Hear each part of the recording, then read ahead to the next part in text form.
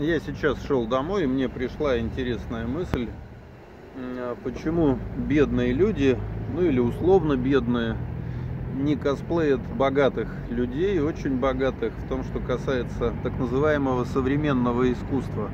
То есть мы видим, что бедные, они пытаются покупать какие-то брендовые сумки, идиотские вещи совершенно, которые ничего не стоят, но они покупают это за тысячи евро, часы покупают тоже, в общем, массового производства всячески и пытаются как-то подражать и показывать, что они что-то могут, что у них что-то есть.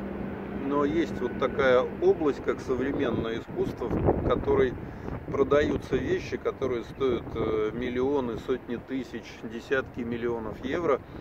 И почему-то бедные люди не обращают на это никакого внимания, а могли бы запросто создать целый свой рынок вот этого всего, но не, скажем, по миллиону евро вещь, а один евро вещь. Ведь, в принципе, сделать все эти так называемые арт-объекты ничего не стоит. То есть там просто какая-то фантазия человека с белой горячкой или под грибами, а все это совершенно доступно большинству людей, у которых нет денег, но есть возможность выпить много не очень качественной водки и потом с утреца, с похмелья решить, значит, вот такой мусор я скомбинирую с вот такой вот, например, штукой, добавлю еще вот сюда, все это гвоздями прибью вот так, и, в общем-то, все, арт-объект, современное искусство, это готово. Ну и написать, естественно, большой текст о том, почему это так важно, почему это так ценно.